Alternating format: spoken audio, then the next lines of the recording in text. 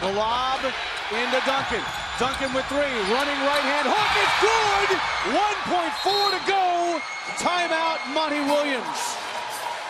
The Spurs lead 104-102. The future Hall of Famer with his game high 28 points on your cue, running hook, kill.